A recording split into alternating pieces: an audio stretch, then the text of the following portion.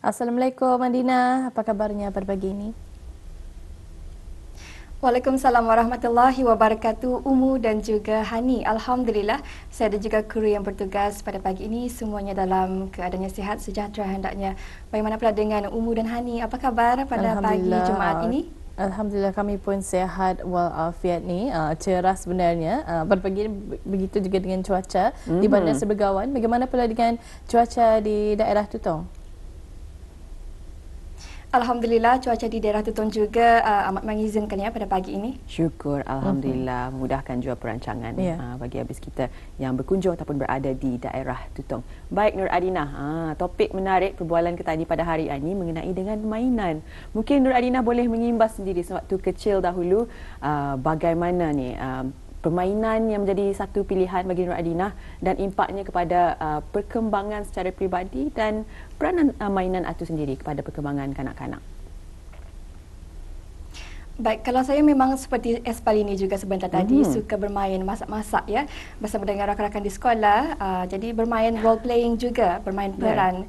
Yeah. Jadi setiap rakan-rakan ini akan memilihlah petugasannya sebagai contoh seorang ini memotong sayur, uh, seorang ini memasak dan sebagainya ya. Jadi dengan role playing ini uh, ia dapat membantu juga memudahkan kanak-kanak uh, mempelajari akan kemahiran uh, sosial ya, yeah. kognitif, uh, pembentukan bahasa juga dan sebagainya. Jadi memang uh, dengan adanya aktiviti ataupun permainan ini yang membantu kanak-kanak untuk uh, belajar berkongsi sama, uh, berkongsi bermain bersama kawan-kawan, uh, belajar macam mana uh, caranya kita berinteraksi dan sebagainya. Itu antara peranan penting juga permainan ini uh, untuk kanak-kanak bagi perkembangan mereka dari masa ke semasa. Hmm, hmm. Jadi menjadi satu kegemaran Johnny sehingga membesar Nur Adinah memasak-masak. Betul, suka juga tapi uh, lebih kepada uh, melakukan masak dari segi pencuci mulut lah bukan yang ah. hidangan sajian utama uh. mm-hmm. baking ya baking ah. mungkin dapat je kita ni rasa ni nanti ya uh, insyaallah teruslah ha uh-huh. insyaallah insyaallah Ah, tutup perkembangan kita ni. Mm-hmm. Tetapi perkembangan dari segi lain. Terima kasih Nur Adina. Perkembangan badan. Baik, ingin mengetahui antara info semasa dan juga bahan visual yang akan dibawakan dari daerah Tutong. Kita serahkan kepada Nur Adina. Silakan. Baik, terima kasih Umu dan juga Hani. Bismillahirrahmanirrahim. Assalamualaikum warahmatullahi wabarakatuh. Selamat pagi, salam sejahtera dan salam Jumaat Auda. Alhamdulillah, kita bersua untuk edisinya pada pagi ini, hari Jumaat 15 November 2024 ya. Dan Auda pada pagi ini didoakan semoga apapun perancangan Auda dan juga tugasan Auda akan dapat dipermudahkan ya. Dan akan diberikan keberkatan juga daripada Allah Subhanahu Taala. Amin, amin.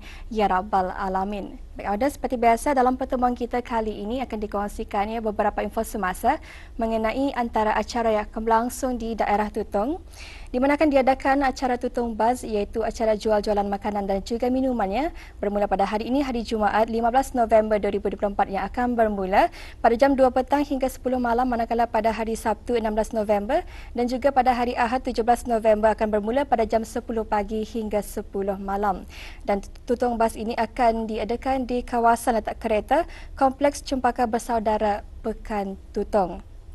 Dan makluman yang seterusnya, Auda akan diadakan juga acara jual-jualan iaitu Pesta Kampung Kita ni yang telah pun berlangsung sejak kemarin 14 November sehingga 17 November 2024 ya yang akan diadakan di nombor 15 Kampung Sengkarai Tutong berhampiran dengan lampu isyarat Sengkarai di mana Pesta Kampung Kita ni akan bermula pada jam 4 petang hingga 12 malam. Jadi bagi Auda yang belum mempunyai perancangan di hujung minggu ini bolehlah datang beramai-ramai kedua acara ini iaitu di Tutong Bas dan juga di Pesta Kampung Kita ini yang akan diadakan di Pekan Tutong. Dan itulah ada dua maklumat yang dapat dikongsikan untuk hari ini. Seterusnya kita akan beralih untuk ikuti satu bahan visual yang telah pun disediakan untuk edisinya pada pagi ini. Jadi mari kita saksikan bersama. Inna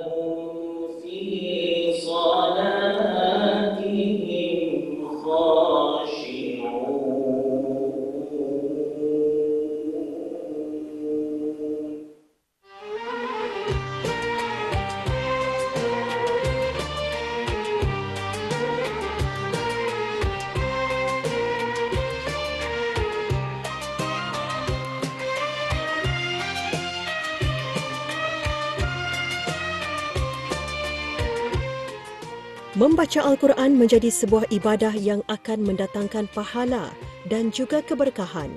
Mendapat pahala berlipat ganda, darajatnya diangkat, mendapat syafaat di hari kiamat. Itu baru di antara kelebihan pada orang yang membaca Al-Quran. Kerana itu juga di negara Brunei Darussalam terdapat beberapa pusat pembelajaran Al-Quran dari peringkat mukadam bukan hanya tertumpu kepada golongan kanak-kanak, bahkan kelas mengaji Al-Quran juga kini mudah disertai oleh golongan dewasa dan warga emas. Membaca Al-Quran bukan sekadar dipelajari dari sudut hukum-hukum tajwid dan tafsir sahaja. Bahkan, ia dituntut agar dialunkan secara berteranum alunan teranum Al-Quran tidak sama dengan lagu-lagu nyanyian lain, bahkan tidak sama dengan lagu penglipur lara, syair, qasidah dan nasyid. Tidak ada kitab-kitab agama lain yang mengalunkan alunan taranum seindah bacaan Al-Quran. Kerana taranum Al-Quran mempunyai kaedah dan prinsip hukum-hukum bacaan yang sesuai dengan kehendak ilmu tajwid dan fasahah Al-Quran. Untuk mendedahkan ilmu pengetahuan dalam membaca Al-Quran secara bertaranum, kelas asas taranum Al-Quran telah dibukakan khusus untuk para jemaah, muslimah, belia Masjid Hasan Abul Kiah Pekan Tutong dan penduduk setempat yang sudah bermula pada bulan Oktober lepas. Kelas ini memberikan pendedahan dan perkembangan semasa disiplin ilmu teranum secara ilmiah dan praktikal seperti prosesan nada, intonasi, rentak dan grinik irama melalui makam-makam teranum yang dibawakan seperti bayati, soba, hijaz, ros, jiharkah, sikah dan nahawan dan perkara-perkara lain yang berkaitan dengan pembacaan secara berteranum dengan betul. Alhamdulillah, Majlis Sunnah Bulkiah Pakan uh, telah membuat satu kelas iaitu kelas asas taranum Al-Quran iaitu kelas ini dibukakan kepada uh, berumur daripada 12 tahun ke atas uh, lelaki dan perempuan. Alhamdulillah penyertaan bagi kelas asas dalam Al-Quran ini pada setakat ini melebihi daripada 20 orang. Dalam kelas ini diajarkan beberapa lagu dan pada setakat ini Alhamdulillah dua kelas sudah berlangsung diajarkan uh, lagu Teranum Bayati, Bayati Asli lah pada setakat ini. Jadi dalam kelas ini peserta diajarkan mengenai teori iaitu macam mana untuk melakukan, mengiramakan. Kemudian uh, secara praktikal. Jadi setiap seorang akan dipraktikalkan cara bacaan. Adapun kelas asas serenum Al-Quran ini pada sekat ini uh, hanya dicadangkan, uh, dijangkakan hanya berlangsung selama dua bulan itu bagi bulan Oktober dan November 2024 ini. Uh, walau bagaimanapun melihat daripada maklum balas daripada peserta-peserta uh, dilihat amat uh, menggalakkan lah. Jadi mungkin akan diteruskan lagi pada tahun akan uh, pada tahun hadapan. Uh, mungkin secara bersesi lah 6 bulan setiap 6 bulan ataupun 3 bulan 3 bulan insyaallah. Jadi untuk melihat uh, bagaimana perkembangan daripada setiap peserta daripada asas kemudian mungkin kepada lanjutan nanti insyaallah. Uh, adapun kelas ini sebenarnya uh, cuma lah, di, pada awalnya dibukakan kepada uh, peserta-peserta berumur 12 tahun ke atas. Kami sebenarnya tidak pula uh, tidak pula melimitkan lah sama ada uh, warga mas boleh tapi mengikut daripada penyertaan uh, warga mas pun banyak mengikuti kelas ini lah. Adapun kelas ini sebenarnya bertujuan untuk uh, melihat kepada bakat-bakat peserta. Kemudian jika sekiranya para peserta ataupun uh, pengikut kelas ini dapat kita ini dilajaukan untuk mengikuti pertandingan-pertandingan mungkin insyaallah dapatlah diorang di sini mendapatkan asas kemudian dapat diorang mempraktikalkan nanti dalam musabakah-musabakah mungkin yang akan diadakan nanti.